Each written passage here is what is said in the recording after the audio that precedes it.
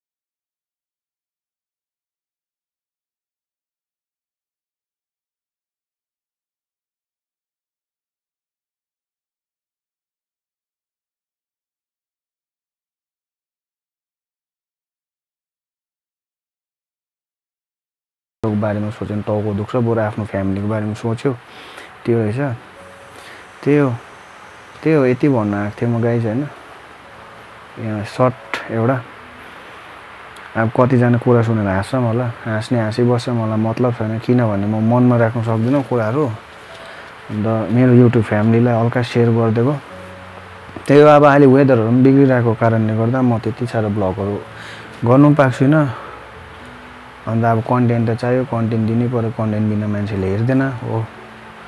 अन्त त्यही हो यति नै थियो आजको कुरा होइन? तपाईँहरूलाई के कसो लाग्यो यसो मलाई कमेन्ट गरिदिनुहोस् होला मुनिपट्टि कमेन्ट डाउन होइन?